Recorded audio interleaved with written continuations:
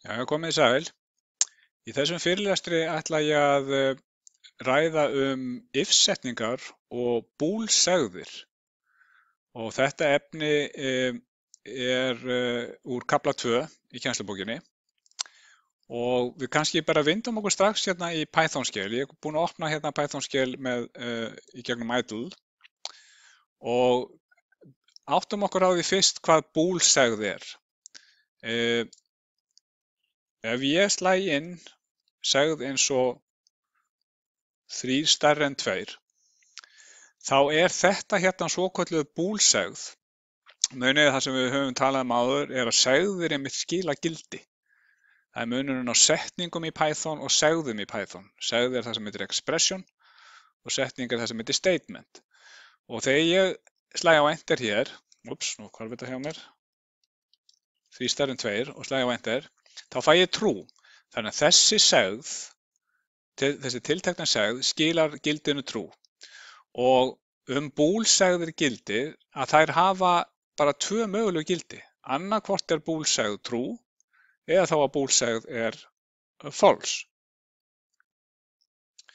E, til dæmis ef ég snýði þessu við og segi þrýr minn en tveir, þá fæ ég false vegna, vegna þess að þrýr er einfallega ekki minn en tveir. E, búlsegðin er umlega byggð upp með því að nota ákveðna virkja sem heita samanburðavirkjar. Þið sjáu að hér er starri en virkin, hérna er minn en virkin. Ég get notað uh, samasemvirkja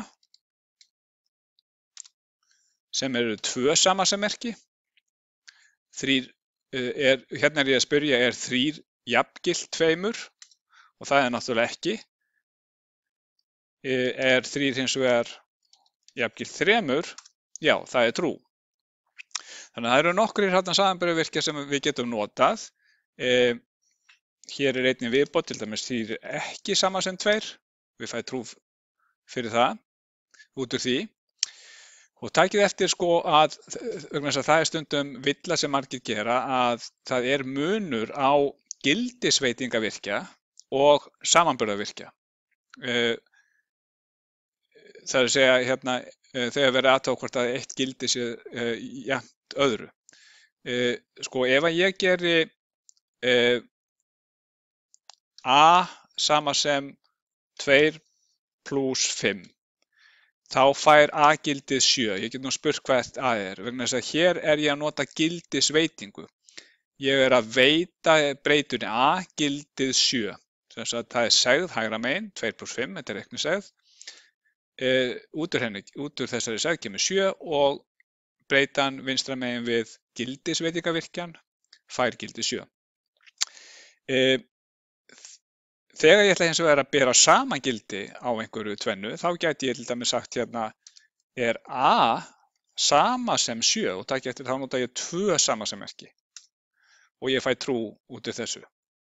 Þannig að það er að passa sig á þessu annars vegar erum að gildisveitingavirkja sem er eitt samansemmerki og hins vegar samanburð uh, sem að, uh, er það sem maður er að aðtóa hvort að eitt gildi sé jafngilt öðru og þá nota maður tvö samansemmerki.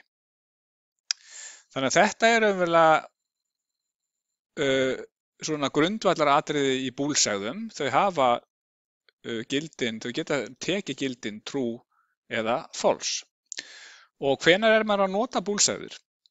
Já, maður notar það e, til dæmis í svo kallum if-setningum og if-setningar eru notað til að stýra flæði í forritinu. Að ef eitthvað tiltekið ástand er uppi þá framkvæmum við einhverja hluti og ef eitthvað annað ástand í forritinu gildir þá, þá framkvæmum við eitthvað annað. Og ef við kannski tökum dæmi, ég ætla að opna hérna til nýja skrá og ég ætla að skrifa hérna lítið forrið. Segjum sem svo að ég ætla að taka tölu af, uh, lesin tölu af liklaborði og ég gerir það svona ég byrðu notandan að slá inn hérna einhverja tölu, input og number og munið það að inputfallið, þetta er eitthvað sem við höfum talað um, inputfallið það skila streng, þannig ég, ef ég myndi gera þetta svona þá færi ég að fá streng tilbaka hérna en ég vil í þessu tilviki fá heiltölu og þá get ég nota intfallið og breytt þessum streng sem kemur út úr inputinu yfir í integer. Þannig á þessum tíðanpunkti eh, er ég komið með integer inn í breytuna sem ég kalla num. Svo ætla ég núna að kynna til sögunar if-setningu sem er hluta Python og ég get sagt hér if, það er að segja ef, ef að þessi tala num er jafngild nulli, ef hún er sama sem null, þá ætla ég að gera eitthvað. Og það ekki eftir því að þegar maður í lók if-setningar þarf maður að vera með tvípunkt. Og því slæði á enda núna, þá fer ædl sjálfkrafa, eða dregur ædl sjálfkrafa kóða minn inn. Það getur ég að setur hann núna inn dreigið undir if-setningunni. Þannig að það sem á að framkvæma ef að þessi búlsegð er trú, það verður inn dreigið í kóðan. E, og hvað ætla ég að gera? Já, ég ætla að prenta hérna út bara einhverju upplýsingar, bara svona til að prófa þetta, zero. Sem sagt, ef að notandins lærin 0, þá fæ ég 0 í þessa breytu hér og þá tjekka ég á því ef að breytan er jafngild 0, þá skrifa ég út 0 hérna. Og við skulum bara vista þetta. Ég setja þetta hérna í Documents. Köllum þetta bara hérna if.py og ef ég keiri þetta núna þá kemur hérna prompt input a number og ég slæ inn 0 og ég fæ 0 tilbaka. Akkur fæ ég 0 tilbaka, akkur er, er úttakið 0 vegna þess að þessi búlsegð var trú og ef hún er trú þá er það sem er framkvæmt kemur hérna fyrir neðan þannig að út er prentað 0 þegar að búlsæðin er trú. Uh, ef ég keiri þetta aftur með F5 og slæði núna inn 1 þá gerist ekkert og það er vegna þess að þessi búlsæð er því tilviki false sem veldur því að þetta er ekki framkvæmt. Og þá kemur kannski spurningin, já, hvað ef ég hefði vilja framkvæma eitthvað í því tilviki sem búlsæðin er fóls? Nú þá get ég notað svo kallar L-setningu og aftur þarf ég að endana með uh, típunkti uh, og þá þegar ég íta á endur hér, þá aftur sér Python um það að draga inn setningarna sem koma eftir og ég get þá sagt hér, já, ef að num er ekki 0, er ekki 0, þá ætla ég að prenta hérna út, hvað vil segja bara, not 0. Svona. Vista þetta, keirið þetta, input a number, ef ég slægi 0 núna, þá fæ ég 0, já, ef ég keirið þetta aftur, slægi núna 1, þá fæ ég not 0. Þannig nú er ég komið svona með flæði í gegnum forritið, ég er komin ákveðin, ákveðin skilirði setningu eða if-setningu að í einhverju tilteknum tilviki þá prenta ég út 0 en í öðrum tilvikum prenta ég út not 0. Þannig að þetta er leið með if-setningum getur við stýrt flæði í gegnum forritið uh, undir einhverjum vissum uh, skilirðum.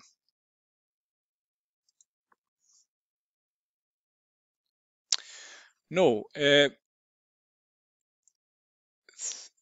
ef að ég vil vera með mismunandi, ekki bara tvo möguleika eins og hér, hérna er að annarkort erum að ræða zero eða ekki zero, en það ég gæti eftir áháði að vera með fleiri möguleika en þessa. Ég gæti til dæmis sagt hér, já hvað ef að, ef að intakið er 1, þá vil ég kannski gera eitthvað sérstatt. Þá get ég notað það sem heitir elsif eða það sem er skrifað í Python sem elif, að og þá þarf ég að setja hér einhverja, einhverja búlsæð ef að num er sama sem 1 segjum og enda það með tvíbúndi þá ætla ég að prenta út hérna 1 þannig að ef að númerið er 0 þá prenta ég út 0 ef að númerið er eintakið er 1 þá prenta ég út none annars ef að númerið er 1 þá prenta ég út none one segi ég. En ef að hvorki þetta skilyrði, fyrsta skilyrði, nýja annað skilyrði er trú, þá prenta ég út not zero. Sem er kannski ekki alveg nógu gott, heldur í þessu tilviki, og þess að nú er ég komið fleiri en einn möguleika. Ef ekki að segja bara um, other eitthvað. Eða something else bara. Something else. Vistum þetta, keirum með F5. Ef við slægin 0, þá fæ ég áfram 0. Skulum kannski færa hann að glugga hefða hérna þess.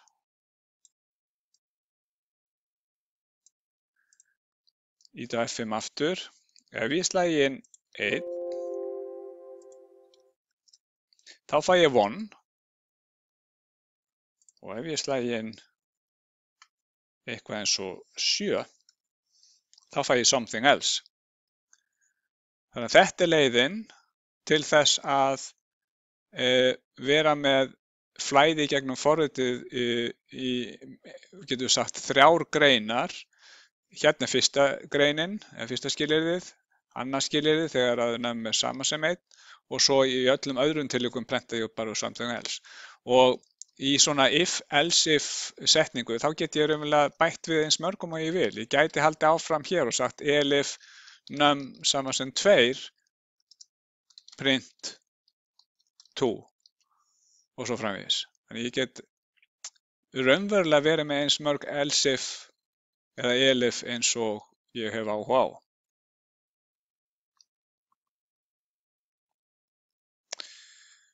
E, sko, við töluðum sem sagt um búl, já, kannski eitt sem að, hérna, ég vil árétta að takið eftir því að, að þegar við erum að búa til uppsetningar þá dregur Python sjálfkrafinn kóðan. Þannig að þegar ég sló á enter eftir að uppsetningunni lauk hérna með tvípunkti, þá fórst kóðin sjálfkrafa hérna inn dregin. Hann er semst ekki svona, heldur svona. Og þetta er mjög mikilvægt að, að svona uh, indentation eins og hann heitir í Python, hún skiptir máli. Það skiptir máli að draga inn kóðan uh, í uppsetningum eða í blokkum eins og það heitir. Við getum prófað hvað gerist ef að ég gera þetta svona og ég reyna að kæra þetta hér þá kemur hér syntax error expected an indented, indented block sem sagt Python gerir bara ráð fyrir því að ef maður skrifar uppsetningu þá verður kóðinn sem ávið það skilir því að vera dregin inn þannig að þess vegna verð ég að hafa þetta svona og þá get ég kert aftur þá sjáum við að þetta gengur. Ég var að bæta við hérna skilirðu um hvað ef þetta er 2, þannig að við slægum 2 hérna, þá fæ ég með 2. Nú, ég var að tala um uh, búlsegðir. Uh, Í þessum tilöfgum er þessum við höfum skoðað hingatælið, þá hefur við verið að skoða svona tiltölu einfælda segður. Það er að segja hérna samanbörður nömm saman sem 0, nömm saman sem 1, nömm saman sem 2 og svo framvís. Og ég gæti verið eins og við erum búin að tala um verið með minna eða minna eða sama sem, starra eða starra eða sama sem og svo framvís. Eh, en það er líka hægt að setja saman að búa til búlsegð sem er sett saman úr öðrum einföldum eða einfaldari segðum. Þannig að við getum búið til svona tiltöla flokna búlsegð sem er sett saman úr einfaldari búlsegðum. Og dæmum það væri að segja, e, ef ég breyti þessu hérna og segja hérna ef að nömm er sama sem 0 eða nömm sama sem 1, þá ætlum ég að skrifa 0 or 1 og þá ætlum ég að sleppa þessu elif hérna. Sem sagt, hérna set ég saman búlsegð sem að samastendur af tveimur búlsegðum. Annars vegar er það þessi hér nömm saman sem 0 og hins vegar hérna nömm saman sem 1. Og ég er með óra á milli, þannig að hvað þýðir það? Já, aðeins önnur af þessum búlsegðum þarf að vera trú til þess að heildarbúlsegðin hér verði trú. Nú þetta getum við prófað. Input á number, ef ég slægin 1 núna, þá kemur 0 or 1. Ef ég slægi inn 0, ups, 0, þá fæ ég 0 or 1. Ef ég slægi núna 2, þá fæ ég 2. Og akkur er það? Já, vegna þess að fyrst mun Python aðtóa hvort að þessi, mun Python tólkur eins og sagt, aðtóa hvort að þessi samsetta búlsegð sé trú og hvernig gerir hún það? Hún aðtóar einstaka, Python tólkurinn aðtóar einstaka hluta segðarinnar. Fyrst þessa hér, er þessi trú? Nei, ég sló inn 2. Er þessi trú?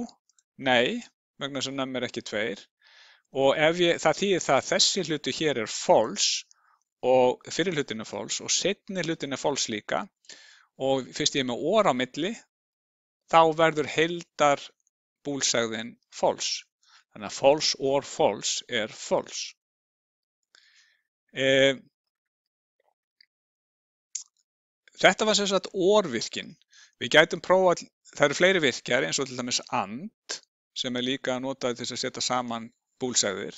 Þannig við gætum prófað hann, ég gæti til dæmis hérna ákveðið það að taka inn tvær tölur af liklaborði, segjum num 1 og num 2.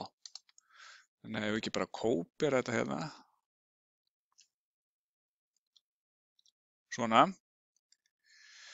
Og nú ætla ég að segja, ef að fyrsta tala mín er 0 og, ekki and heldur og, það er and sem sagt. E, og setnitalan er 1 þá ætlum ég að skrifa hér út að ég hef fengið intakið 0 and 1 og sleppum bara þessu else hérna. Og ef þetta er ekki trú þá skulum við bara prenta út something else. Prófum þetta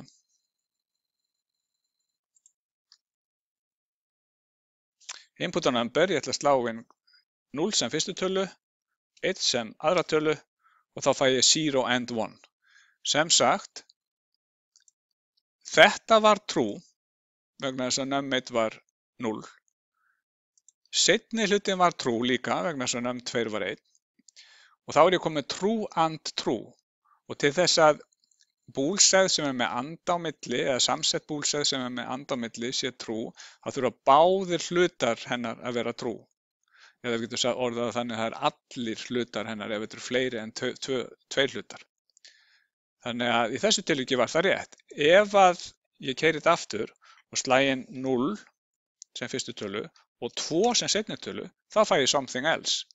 Vegna þess að vissulega var fyrir hlutin trú hérna, þessi hér, en seinni hlutin var ekki trú vegna þess að það sem ég sló inn var tveir, þannig að nömm tveir hafði gildið tveir.